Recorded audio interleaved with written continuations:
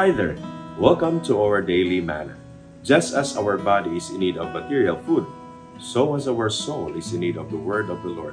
Shall we pray?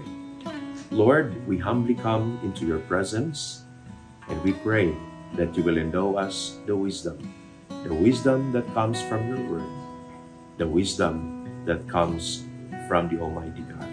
Lord, we pray that you will continue to guide us, illumine us with the work of your Holy Spirit and with the work of your word. We say this in the name of Jesus. Amen and amen. There was once a time that I was having a conversation with a friend, and this person was known to be very prayerful. He was brought by his family to Manila to treat some physical ailment that he was going through back then. When he had his checkup with the doctor, the doctor told him that he needed to go through an operation. But he wrestled in his heart and mind, Shall I really go through the operation? And he kept on praying to the Lord, asking God, Will I go through the operation? And so, after a few days, he was convinced by the rest of his family that they will really have to go to the hospital and he shall submit for the operation. And so he conformed to them.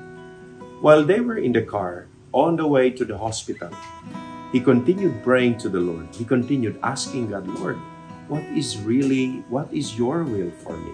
What do you desire for me?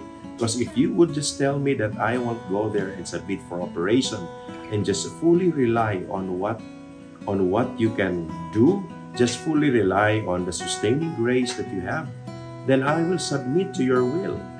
Now, what happened was that while they were on the road, he kept on praying and praying when suddenly he saw a Bible verse written on the wall.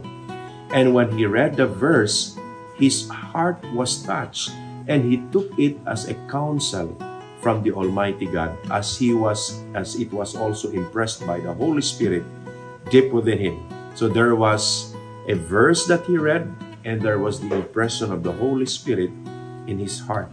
Right at that moment, when he read the verse, he told his companions inside the car, Let's stop and please turn around. We are going back home. I'll go back to Zamboanga City. And so he did not submit for an operation. And you know what? He lived for many, many, many years. Now, that's kind of amazing to think about that such a person has a faith in God who is um, seriously taking the counsel of the Lord. You know, God's counsel can come from anywhere, from anybody, at any time. During those days in the early history of Christianity, when you look at the book of Acts, chapter 5, the believers were persecuted. The religious leaders didn't like the Christians, especially when they continued to proclaim Jesus Christ, that he was resurrected, and that many people started believing in the Lord, the religious leaders didn't like the idea. And so they, they reprimanded God's people to stop preaching about the resurrected Christ.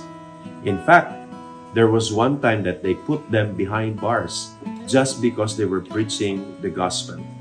Now, after that in experience, after that incident, they were never stopped by these individuals because as I have told you in the previous episode from the book of Acts, that the disciples told the religious leaders, we rather obey God than man. So their allegiance is really for the Lord. So they continued preaching the gospel. They continued proclaiming the resurrected Christ to the rest of the people that they would encounter. Nobody was able to stop them. However, as they were going through all of these matters, as they were preaching the good news about Christ, you know what happened? The religious leaders continued to pursue them. The religious leaders continued to inflict them with pain and suffering. And this time they were caught again and they were brought they were brought before a council. And in that council, they were going through some interrogation. And by the way, I call this episode of the Daily Manna as Gamalielism because there though there is no such a word like that in the dictionary but because this is the name of the guy Gamaliel that gave the counsel to the disciple to the, the rest of the people then I got his name and I call call his wisdom Gamalielism. Let's read it from the book of Acts chapter 5, beginning with verse 33 up to verse 39. It says here, But when they heard this, they were cut to the quick and intended to kill them. But a Pharisee named Gamaliel, a teacher of the law respected by all the people, stood up in the council and gave orders to put the men outside for a short time. And he said to them, Men of Israel, take care that you propose what you take care what you propose to do with these men.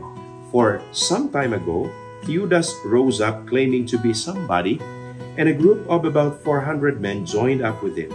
But he was killed, and all who followed him were dispersed and came to nothing.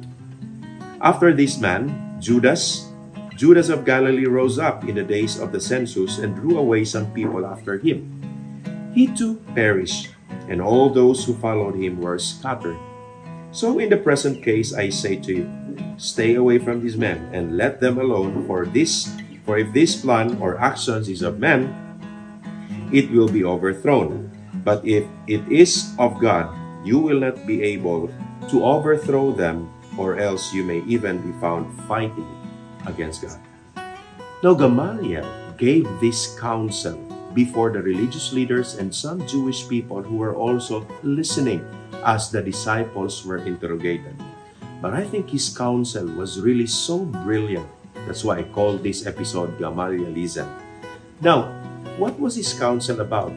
His counsel came in two parts. The first part of it had to do with, I call it, the counsel about responsibility.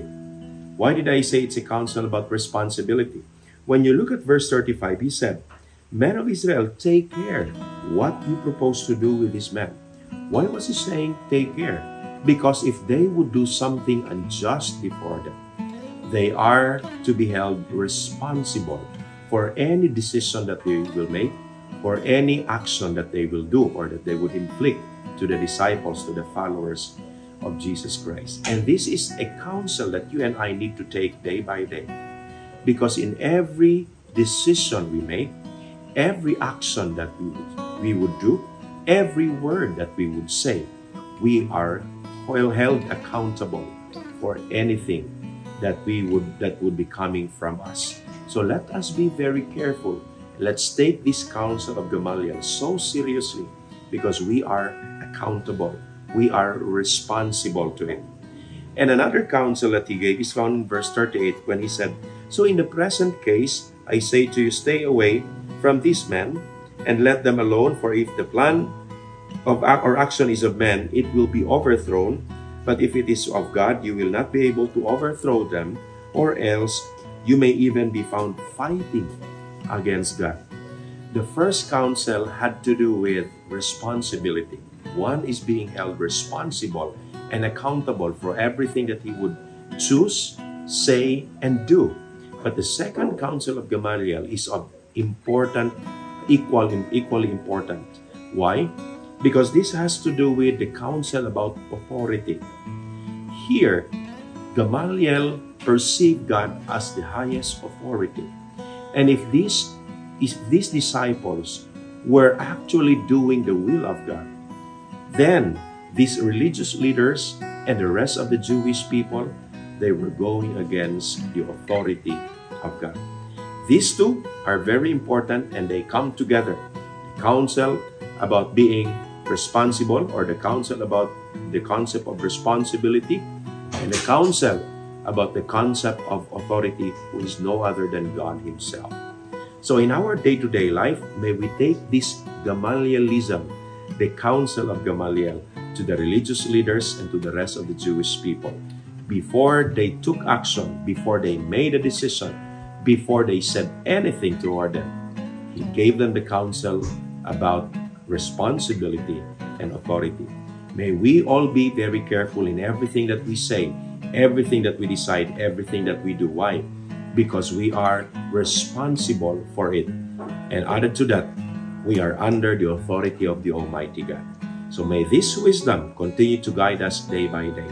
And I am praying that we will live under the wisdom of God's divine revelation. God bless you.